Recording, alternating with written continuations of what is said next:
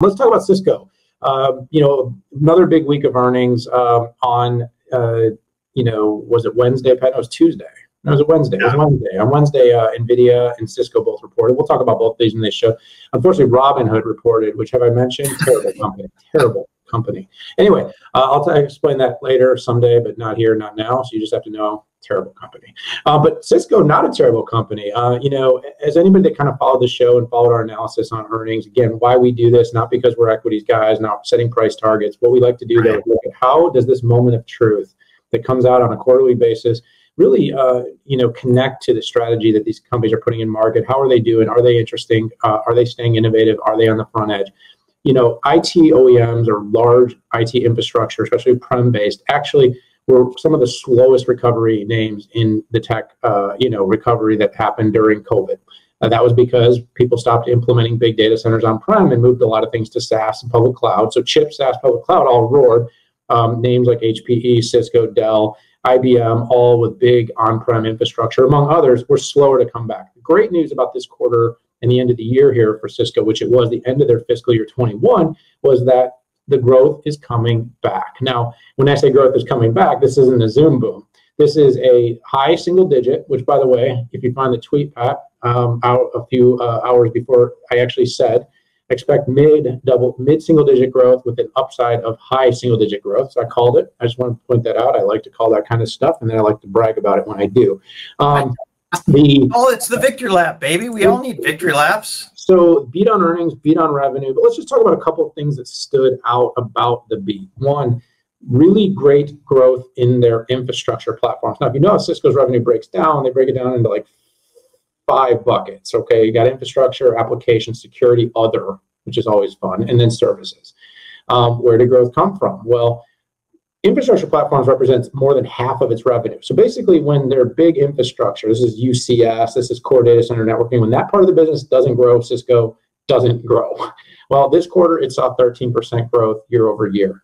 Um, it saw strong growth from various regions, including um, 8% domestic growth after only almost being flat on constant currency last quarter. Also, really strong growth coming out of the Asia Pac uh, uh, geo for the company.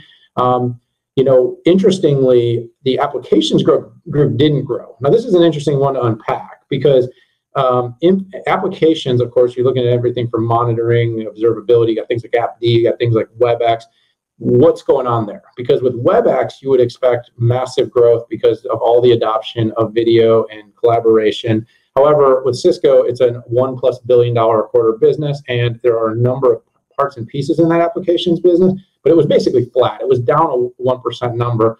I think a lot of people want to know a little more about how WebEx individually is doing because when you see Zoom growing in double and triple digits and you see Microsoft with 250 million Teams users, what's going on there? But we're watching it. But maybe, Pat, the most interesting number, and I'll let you elaborate a little bit on this, and I think we can keep talking about this, is the $4 billion number claimed in the company's software revenue. Right. It moved to 81% subscription revenue, 19% perpetual, 4 billion, and they're now proclaiming to be among the biggest software companies in the world. Which my only thought, and then I'm going to let you go from here, is that um, this is something that outsiders, investors, and, and customers should feel very bullish about because this is the pivot that an infrastructure company needs to make to stay relevant in the long term. And it appears, based on the percentage of subscription and the size of that business, that the company is in very good shape and it's it's uh, growing at a good clip uh, about 15% on subscription. Wow, you did leave me something. I appreciate that. Uh, so, yeah, perfect segue, right? Uh, Cisco for years uh, was an infrastructure, a networking infrastructure company, and then they moved into a full service infrastructure with networking, uh, compute, uh, and storage, and and then you know they moved along, and then you know almost like overnight, uh, and maybe that's just overnight because I'm old and can't keep track of my years. Daniel, uh, they turned into a software and, and services company. And this quarter was, you know, almost a quarter of me talking out of both sides of my mouth. Uh, equipment order growth uh, was triple digit. No, sorry, uh, was 31% product orders. Okay, that's product, that's infrastructure. That's the best that they've done in a decade. And then now the other side of our mouths, we're talking about it being one of the biggest software companies uh, out there with a $16 billion uh, run rate. Uh, so uh, I think that the software growth is incredible. The services uh, progress is incredible. Um, I'm going to do the double click on that four billion. Uh, I asked Cisco for an explanation uh, of that. You know, what's their list? Uh, they couldn't provide me one, uh, so I'm thinking about creating my own. It's not that I don't believe them. It's just I don't want to throw down that you know one of the largest software plays out there without being more uh, precise. Uh, their CFO said it was the, you know, they were in the top ten. it does include SaaS. Uh, but it's going to be it's going to be hard hard to figure that out. But I guess that's why we get paid to do uh, what we do, Daniel. Yeah, uh, uh yeah. that's a great that's a that's a great point and a, and a fairly uh, important point that we belabor on is we get encouraged by numbers like that, but we want to unpack it. We want to unpack it for you out there because you know, big claim. Obviously, when you think of big software companies, I, I said this in our briefing, Pat. Most people don't think about Cisco, but if this accomplishment puts them in that category, top 10, yeah. top five global software vendors, it almost needs to be reconsidered a little bit how the company is marked. We say things like ITOM or big infrastructure players, but are they? Yeah. You know, by the way, this this claim, and by the way, you just double back there, so I'm going to double back. Uh, this top 10 software claim reminds me of the uh, the WebEx claim. What was it? You know, improving the experience by 100x or something.